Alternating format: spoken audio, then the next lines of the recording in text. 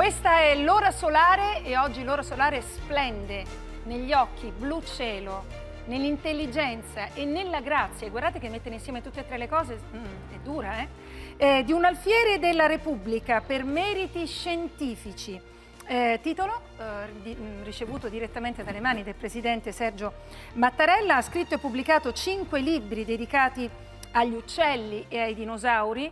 L'ultimo, che fine hanno fatto i dinosauri, e adesso il nostro Alessandro Tresi, il nostro regista, inquadra questo splendore. Lui si chiama Francesco Barberini e gli va fatto un applauso stellare. Stellare. Grazie, grazie. Ben arrivato, signor Alfiere. Grazie, ciao, ciao a tutti. Ci, ci possiamo dare del tu, vero? Sì, sì, assolutamente. Sì, che bello, così mi sento ancora più giovane. Edito da Salani, che fine hanno fatto i dinosauri?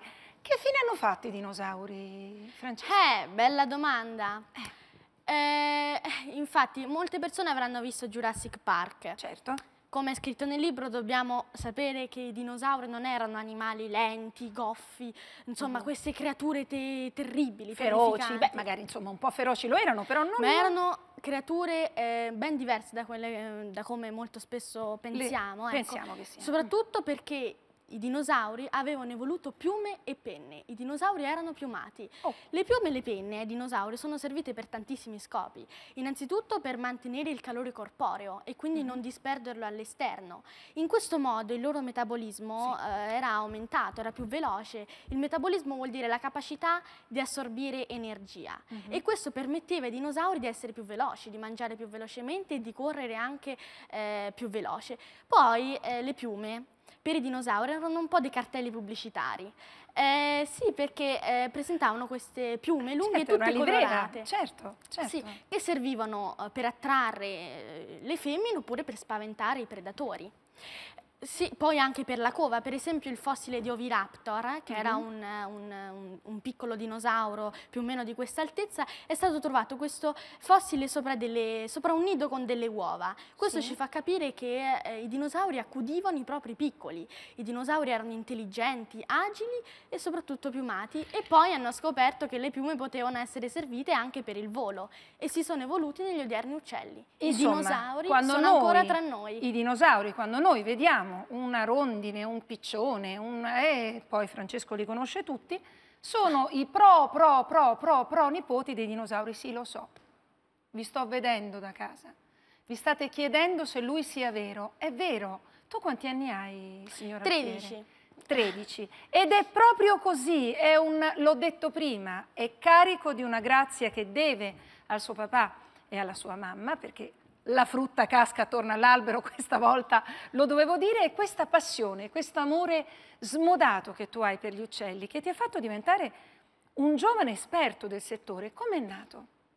Allora, molti pensano che sia nata dai miei genitori, ma non è mm-hmm. così. È nata quando avevo due anni e mezzo, quindi ero molto piccolo, sì. come anche scritto nel libro, guardando un film documentario sugli uccelli, sì. Il popolo migratore. E quindi ho visto, ho aperto gli occhi su questo mondo di questi uccelli che volavano, e che mi hanno insomma erano molto affascinanti e quindi da lì è iniziata la mia passione e mi sono interessato sempre di più sugli uccelli.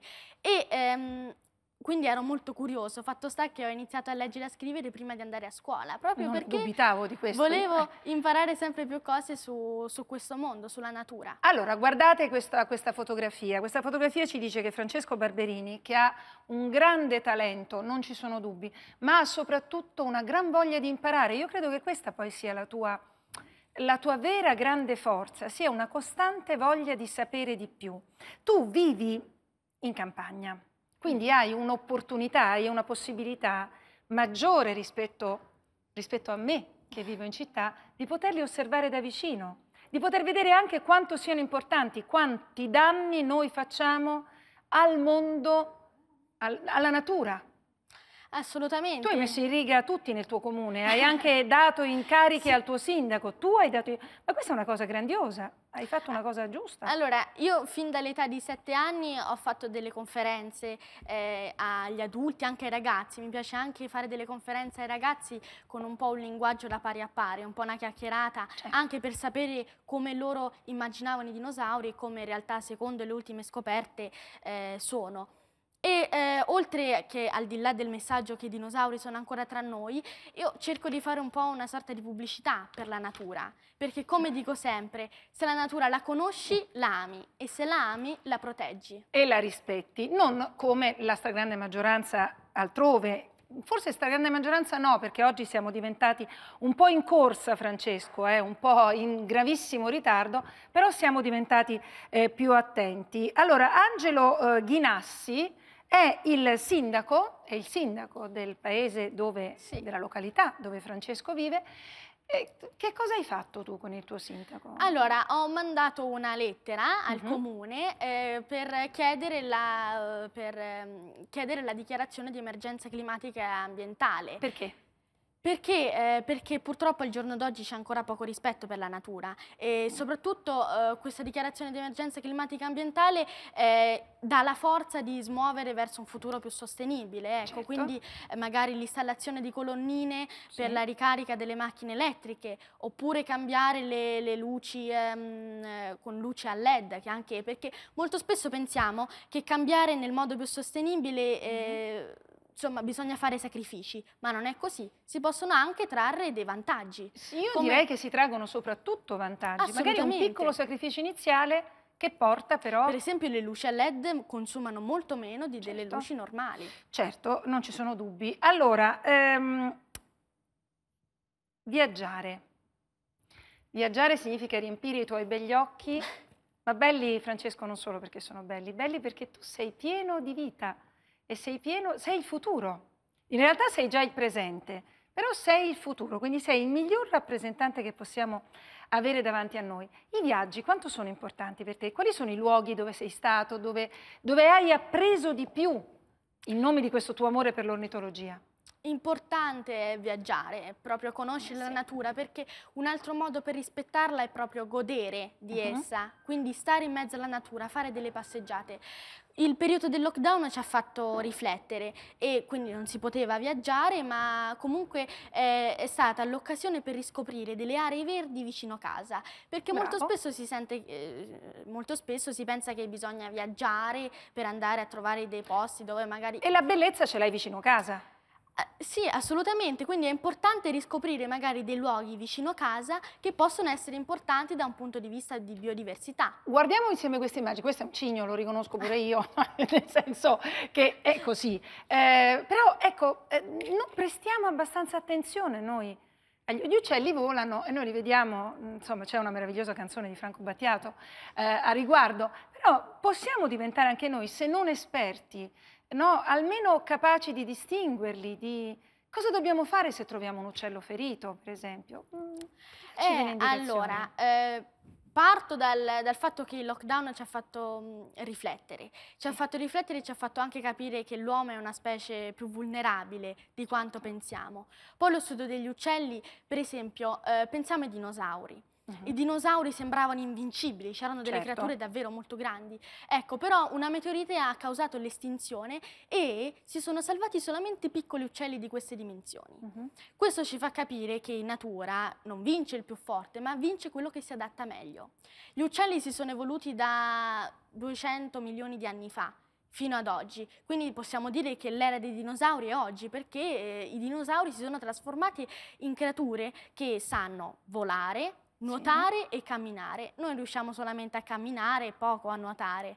Quindi questo ci fa capire che loro sono davvero delle creature mm, molto belle, ecco. Ah, fermati su creature molto belle. È bello che ci fosse il suo primo piano, una creatura molto bella. Francesco sarà da grande, Francesco Barberini, un grandissimo ornitologo e un grandissimo difensore eh, della bellezza della natura ed è nostro, è nostro concittadino e alfiere della Repubblica Italiana. Un volo rapidissimo sulla pubblicità e torniamo in studio con questa meraviglia.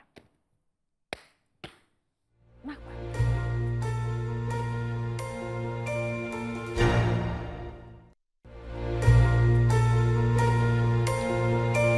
L'ora solare ritorna con Francesco Barberini. Che fine hanno fatto i dinosauri?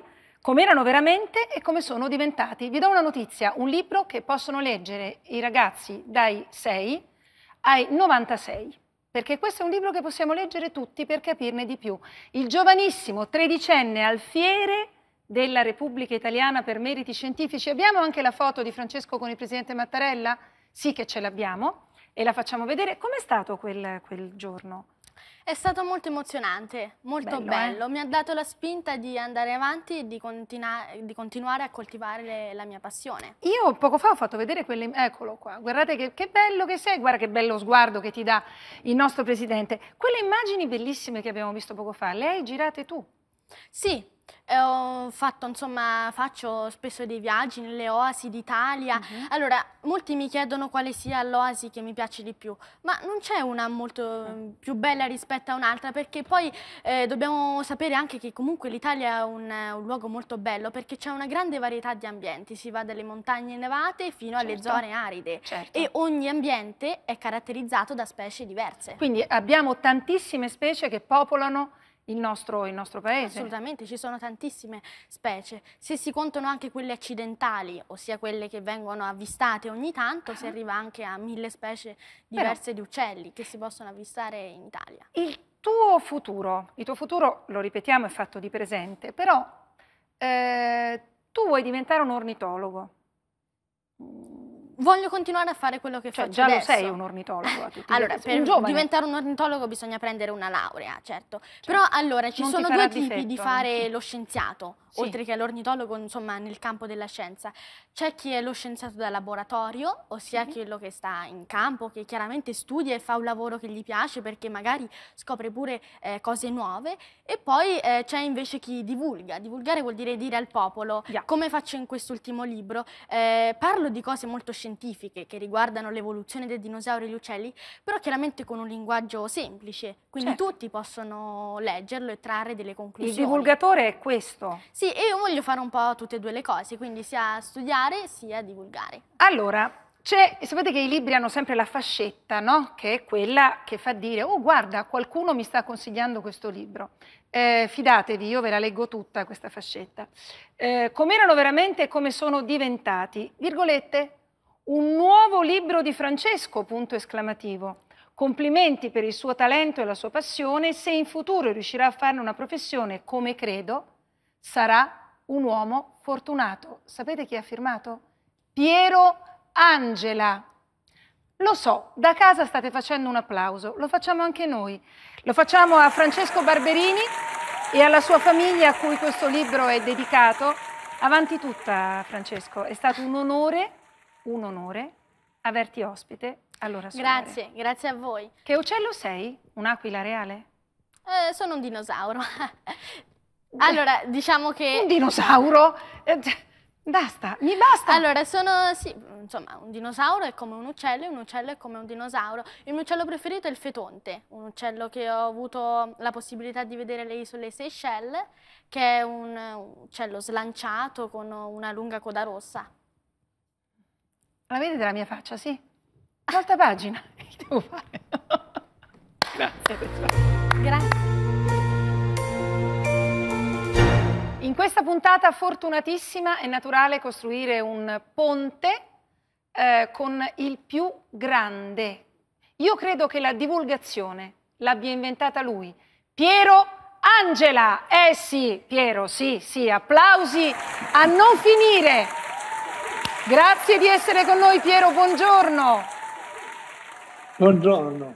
Allora, ed è rimasto con noi, almeno per un saluto e una domanda, Francesco Barberini, giovane alfiere della Repubblica Italiana per meriti scientifici, che nel suo ultimo libro, Che fine hanno fatto i dinosauri, ha una fascetta firmata da Piero Angela.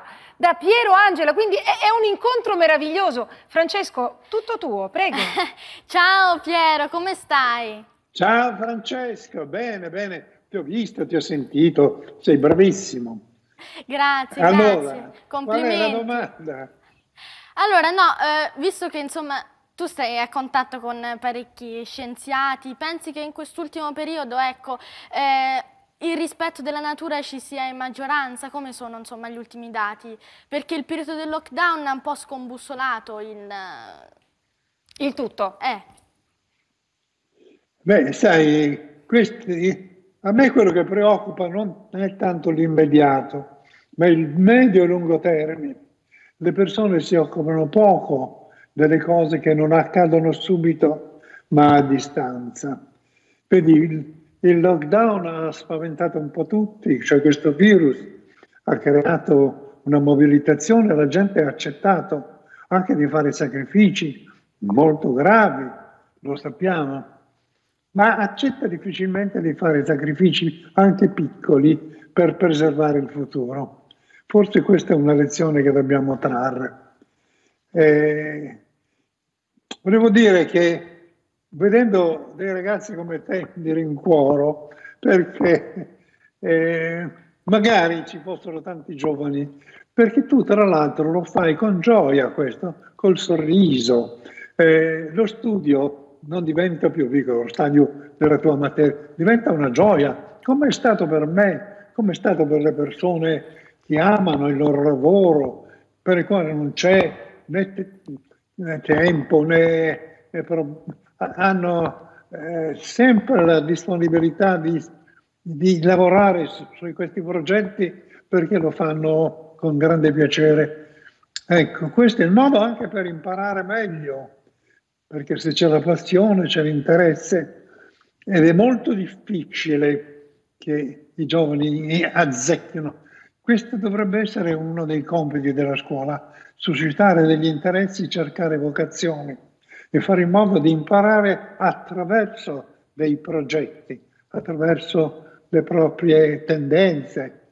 Quindi tu, come dico nella fascetta, sei stato fortunato adesso per avere questo, eh, questo argomento sul quale appassionarti, ma se riuscirai a farne una professione, veramente sarei molto fortunato, perché vuol dire che eh, per tutta la vita eh, fare qualcosa che ti piace.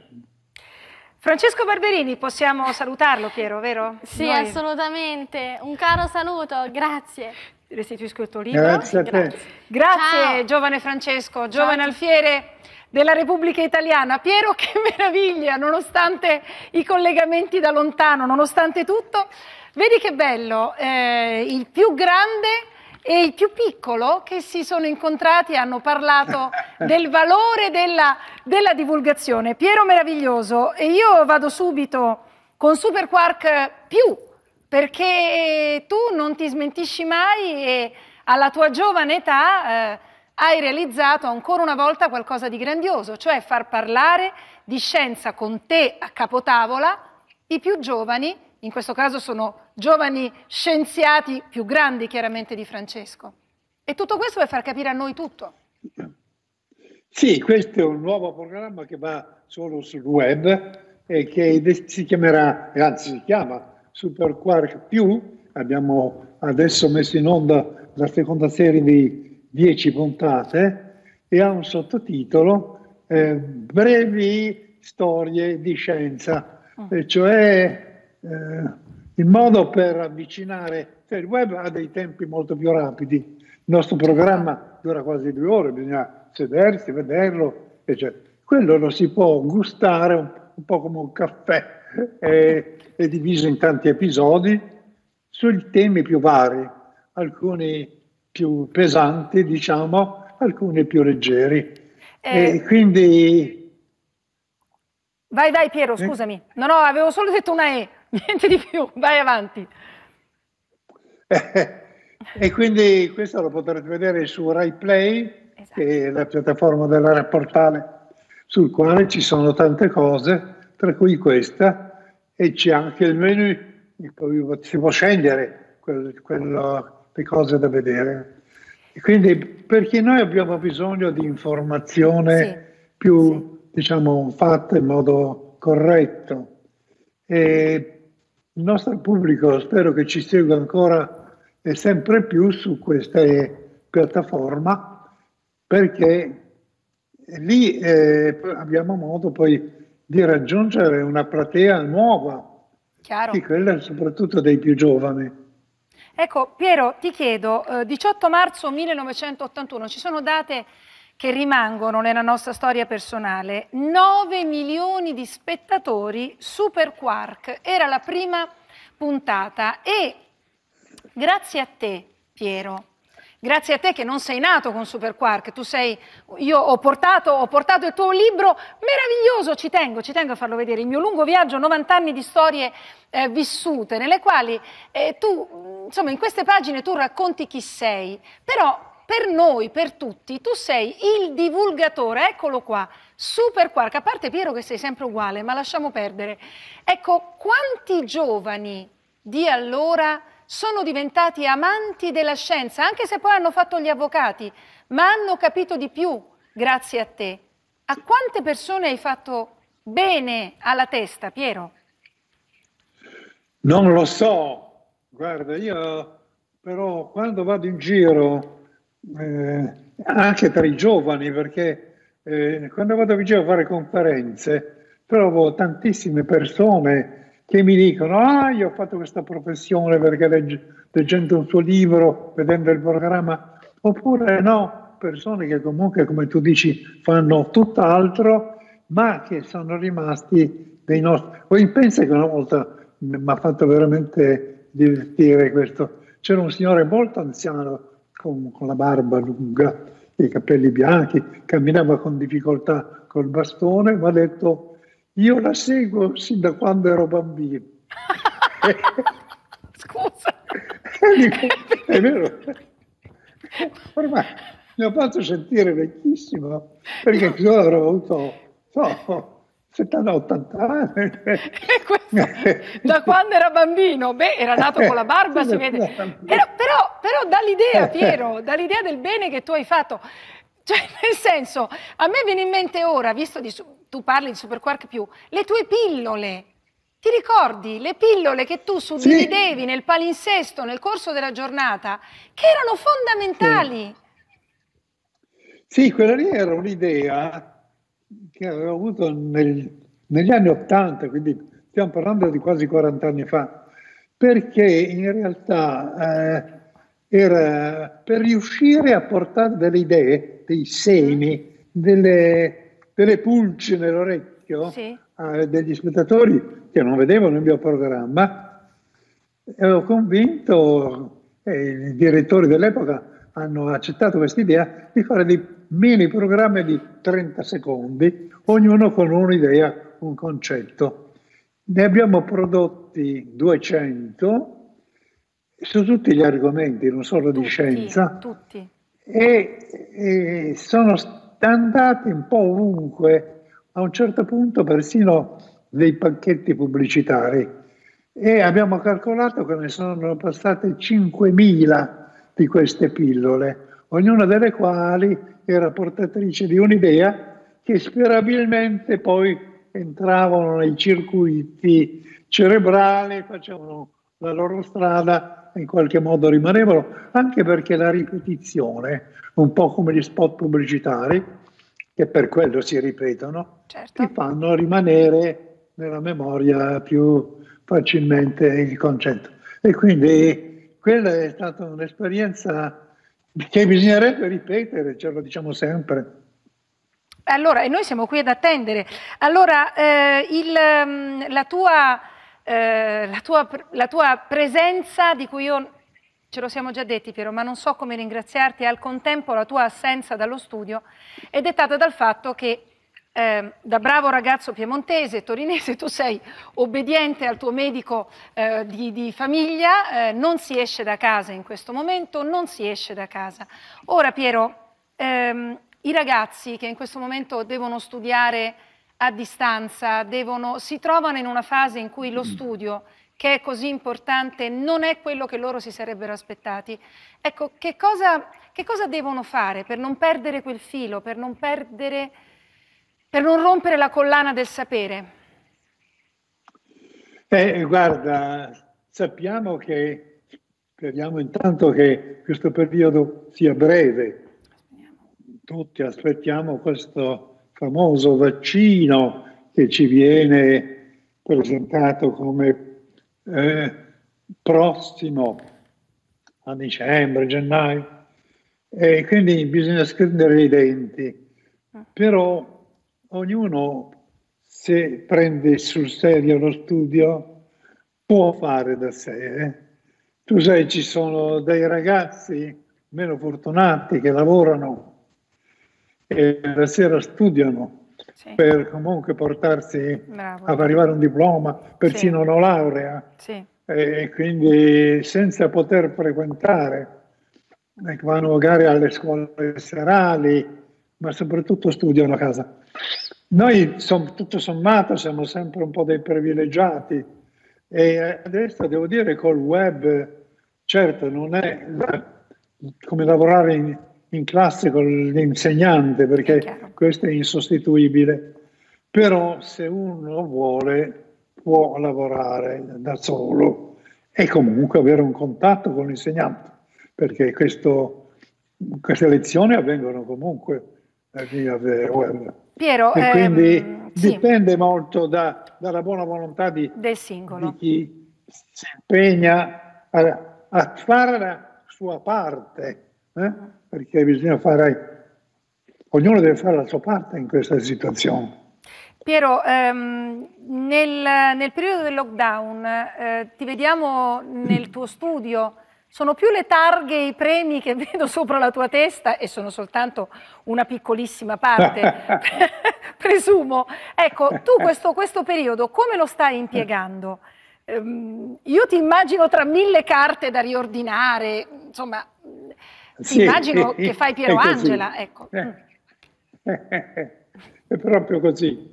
Eh, so, ma guarda, io no, non, mi, non, mi, fermo mai, non mi annoio mai, c'è sempre tanto da fare.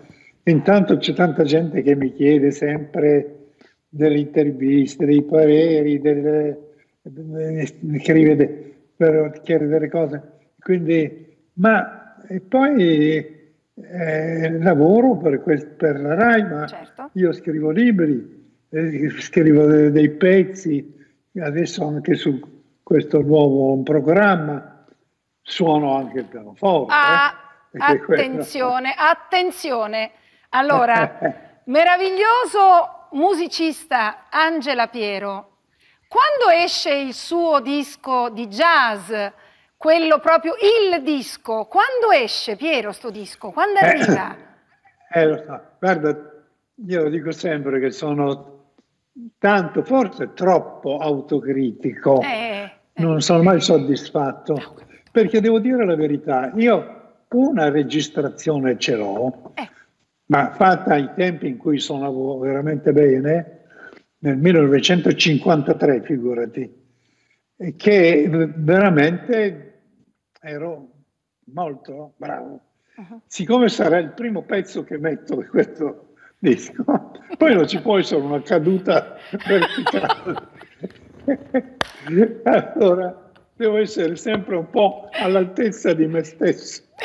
Certo, e certo. certo i tempi sono cambiati, anche gli stili, ma io ero molto moderno già all'epoca. Eh. Quindi diciamo però sono a buon punto, sono a buon punto. Purtroppo non ho mai il tempo di mettere le mani sulla tastiere. Mi, mi capita ogni una volta alla settimana, un'ora o mezz'ora, e mi riprometto sempre di ah, non faccio questo, eh, poi c'è sempre qualcosa. Eh, però uscirà. Uscirà. però sai, devo sbrigarmi, eh. No, qua, no, vero no. Gli no, anni passano. No, no, no. Allora. Tu ne compi favolosi 92, dico bene? 92 a dicembre. A dicembre. Sì. Sei, regalo, sei, arrivato come un regalo di Natale nella tua famiglia. Eh, siamo vicini a Natale. 92. Quindi Piero, insomma, io credo che fra un 5 o 6 anni tu possa aver perfezionato al massimo il tuo disco, ma facciamolo uscire, per favore. Eh. Sì, sì, hai ragione. Mm. Eh, Entro quest'anno sarà difficile, ma l'inizio dell'anno prossimo spero veramente. E la tua, la tua favolosa dolce metà, cioè la signora Margherita, che io saluto con tanto amore sì. e affetto, ecco, eh, ti, ti, supporta in questo, in questo tuo lavoro da sempre, ma io la immagino la moglie di un genio e poi se cominciamo a parlare di tutta la famiglia facciamo notte, ma insomma, eh, quanto è importante Margherita nella tua vita? Domandone. È molto importante perché lei mi riporta sempre coi piedi per terra. Mm.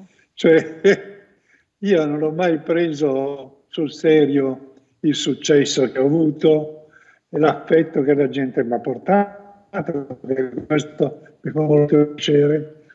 Sai, è la cosa che dico sempre anche a Alberto, guarda Alberto, ogni lavoro che tu fai, ogni servizio, ogni documentario, ogni libro, lo devi scrivere come se fosse il primo. Bravo. Cioè dando il massimo della cura perché ogni volta è un esame e tu non puoi perdere eh, la, la stima del pubblico perché pensi che ormai sei una firma e la gente...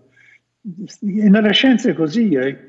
come nello sport, vale sempre l'ultimo risultato, non quelli di prima. E quindi il nostro è un lavoro come anche il tuo.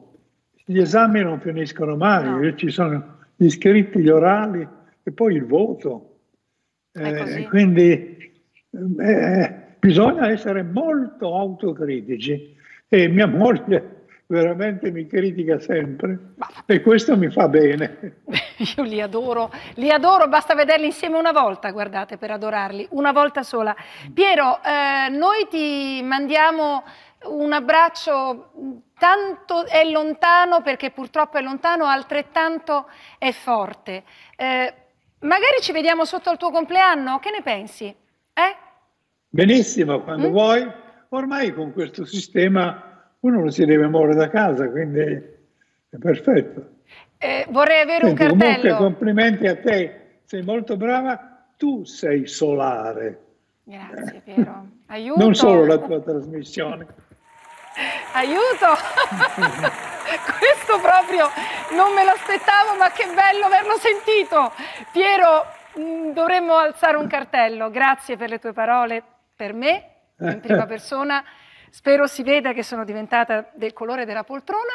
E Piero Angela, we love you. Questo dovrebbe passare in questo momento nel cielo davanti a casa tua. Grazie Piero.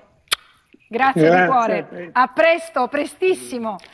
E a tra poco. Scusate, sono quei momenti così. ah.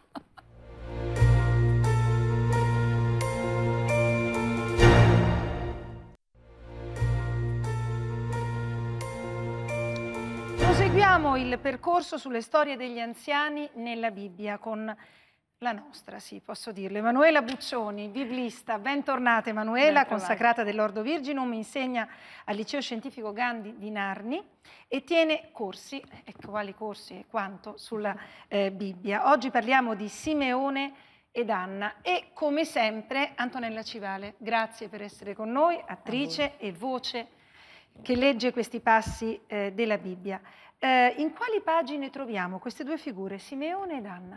Eh, ci troviamo nel Nuovo Testamento, con più precisione nel Vangelo secondo Luca. È un brano che in realtà è abbastanza noto perché viene letto secondo la liturgia il 2 febbraio.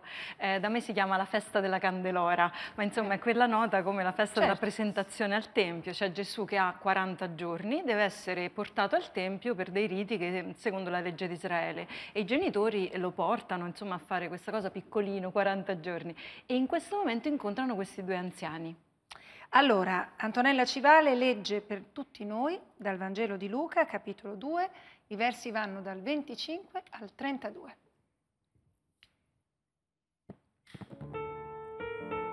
Ora a Gerusalemme c'era un uomo di nome Simeone, uomo giusto e pio, che aspettava la consolazione di Israele e lo Spirito Santo era su di lui. Lo Spirito Santo gli aveva preannunciato che non avrebbe visto la morte senza prima aver veduto il Cristo del Signore.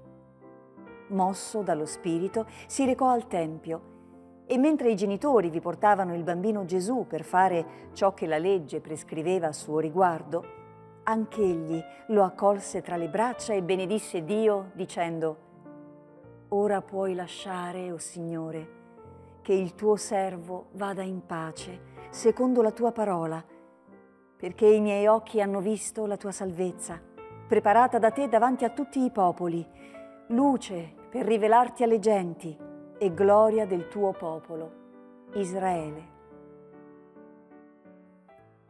Allora, eh, ora puoi lasciare, o oh Signore, che il tuo servo vada in pace. Chi è è questo Simeone? Questo Simeone. Allora, innanzitutto è un anziano eh, che però non è invecchiato. Di solito quando si invecchia si diventa un po' duri d'orecchie, eh, scende la cataratta e invece lui ci vede molto bene e ascolta molto bene. Abbiamo sentito eh, che in pochi versetti è ritornata più volte la parola dello Spirito, lo Spirito Santo. Allora lui sa ascoltare una parola evidentemente interiore no? e che ha, gli ha promesso che non sarebbe morto prima di vedere il Messia, eh, che avrebbe realizzato questo che è il sogno di ogni grande, di ogni israelita, di ogni persona eh, che attende nella tradizione ebraica questa figura così importante che è quasi sinonimo di consolazione del popolo di Israele e lo spirito lo muove, gli dice adesso è ora, vai. Quindi la prima cosa che notiamo, e ne noteremo due o tre in questo brano, è che ehm, lui in quel momento è un ebreo definito giusto, giusto e pio. Uh-huh. La Pentecoste, la discesa dello Spirito Santo, non c'è ancora stata, la Chiesa non è ancora stata formata, ma lo Spirito Santo parla alle persone giuste. Questo è un grandissimo insegnamento. In tutto l'Antico Testamento c'è questa insistenza sulla giustizia eh, che non dobbiamo mai dimenticare. Addirittura nel libro della Sapienza si dice eh, che l'universo è alleato dei giusti. Quindi una cosa bellissima. L'essere giusto è ciò che predispone ad ascoltare la parola di Dio nel proprio cuore, che ovviamente è parola dello Spirito. E questo è ciò che Simeone sa fare, ascolta e vede molto bene, riconosce il bambino.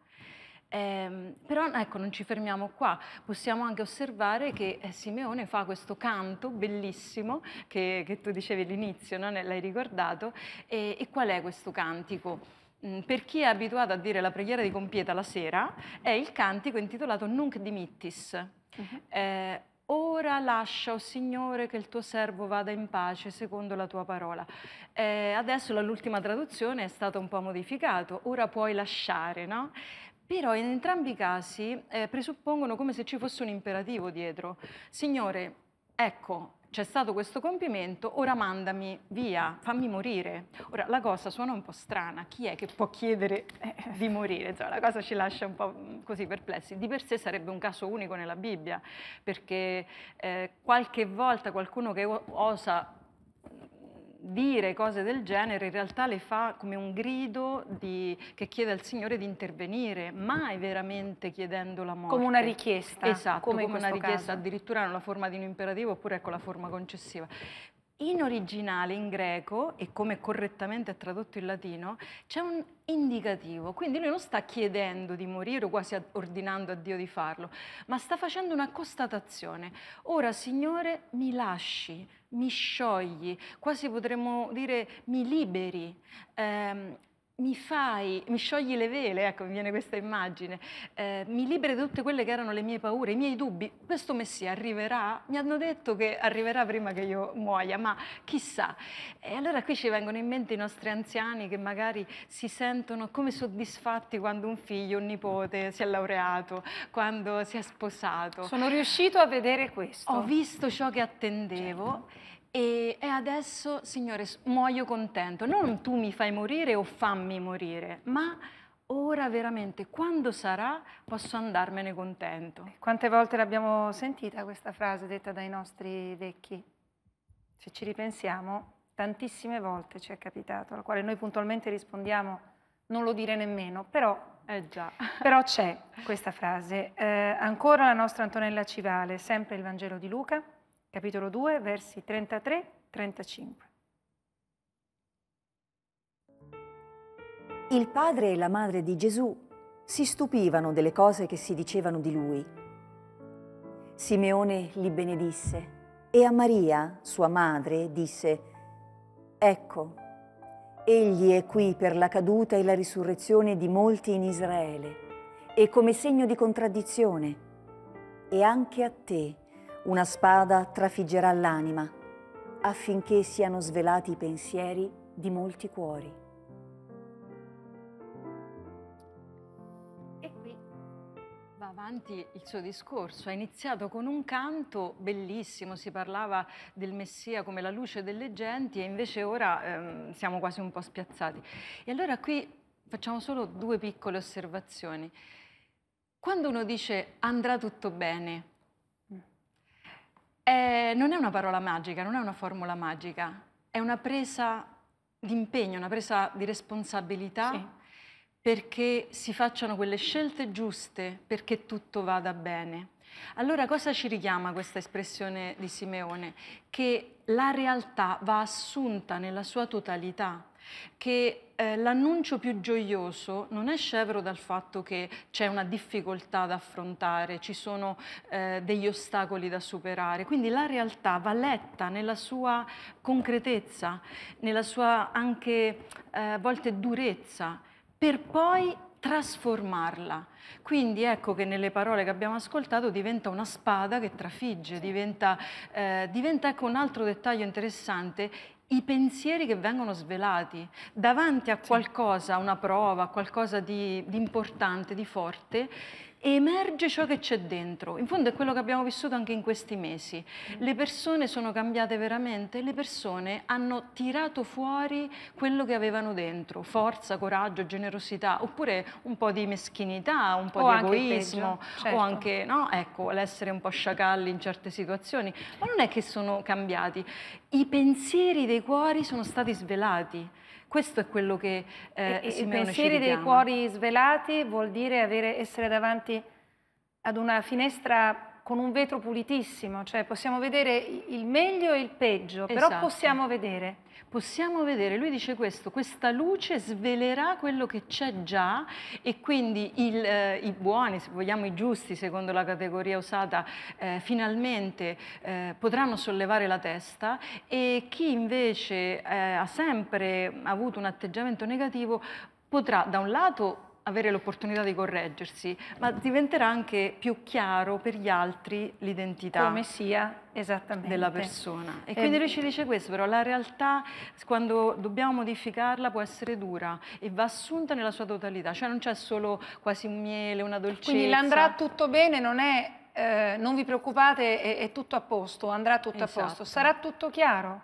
Ci impegniamo a che vada tutto bene, dipende da noi, dipende dalle scelte, ma le scelte si basano su una lettura corretta del presente e della realtà. Da lì posso fare le mie scelte e così andrà tutto bene. Altrimenti riduciamo appunto alla formuletta magica, sia nelle situazioni che ricordiamo di attualità, ma ovviamente anche quando annunciamo il Vangelo. Non è che il Signore interviene magicamente nel risolvere le cose, ma ci aiuta a capire cosa abbiamo dentro in modo che possiamo seguirlo in verità. Eh, proseguiamo eh, sempre dal Vangelo di Luca, sempre con la nostra Antonella Civale, i versi 36-38, perché abbiamo parlato anche di Anna ed è questa figura che andiamo ad incontrare. C'era anche una profetessa, Anna, figlia di Fanuele, della tribù di Aser. Era molto avanzata in età. Aveva vissuto con il marito sette anni dopo il suo matrimonio era poi rimasta vedova e ora aveva 84 anni. Non si allontanava mai dal Tempio, servendo Dio notte e giorno, con digiuni e preghiere. Sopraggiunta in quel momento, si mise anche lei a lodare Dio e parlava del bambino a quanti aspettavano la redenzione di Gerusalemme. Ringraziamo Antonella Civale, grazie sempre Antonella, grazie, grazie, di essere con noi. Eh, profetessa. Profetessa, questa è la cosa Anna. fondamentale, meravigliosa, eh, non così rara, non così frequente, ma preziosissima laddove avviene che una donna è chiamata profetessa. E qui ce l'abbiamo nel Nuovo Testamento, cioè una persona che parla a nome di Dio. Quindi Anna ci introduce già in questa dimensione. Cosa notiamo di lei? Che ci viene detto quanti anni ha? 84. Ora, teniamo conto che nemmeno di Gesù il Vangelo ci dice con precisione quanti anni avesse. Invece di questa donna viene ricordato, era anziana e aveva passato più di 60 anni a servire Dio giorno e notte nel Tempio. Qui mi ricorda tantissimo quante delle nostre parrocchie non andrebbero avanti senza queste donne figure eh, fondamentali che si dedicano, che veramente fanno andare avanti tutto, con amore grande al Signore e agli altri. E allora ecco, l'ultima battuta che possiamo fare su questa splendida figura femminile che arriva, sopraggiunge e si mette ad annunciare eh, che il Messia è arrivato, che Gesù è veramente la risposta, che ad alcune persone che pensano che la religione è un po' l'oppio dei popoli, che è qualcosa che un po' ti invita a rassegnarti perché tanto nel paradiso tutto andrà bene, ecco, lei dice attenti, la fede è qualcosa che se annunciata crea liberazione. Redenzione abbiamo sentito, ma si può rendere anche con liberazione, che poi è il senso profondo. Cioè, se Simeone attendeva insieme al popolo la consolazione, quella spinta che ti aiuta a crescere, a migliorarti, in realtà Anna dice sì, ma fede significa liberare dalla paura, dall'oppressione, da tutto ciò che calpesta la dignità delle persone. E una donna anziana ce lo ricorda. E lo dice con una soddisfazione negli occhi. Emanuela Buccioni, che noi ormai conosciamo, conosciamo bene. Emanuela, grazie, grazie di cuore. Io do del tuo ad una strepitosa biblista, bravissima, capace proprio perché così brava di far arrivare a tutti noi il senso di quelle parole e l'applicazione che possiamo fare nella vita di tutti i giorni. A questo vale, anche a questo vale tutto ciò. Grazie di essere stato Grazie con noi.